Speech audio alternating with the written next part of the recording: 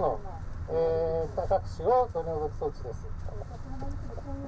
大きさなんで、それを今3段崩して1段の状態になってるのが右側。ここセンサーだろう。下から来るの。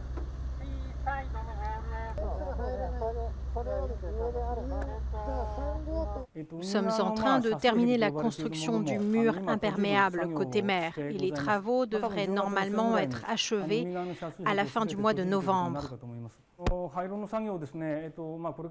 Les travaux de démantèlement des réacteurs vont prendre encore entre 30 et 40 ans.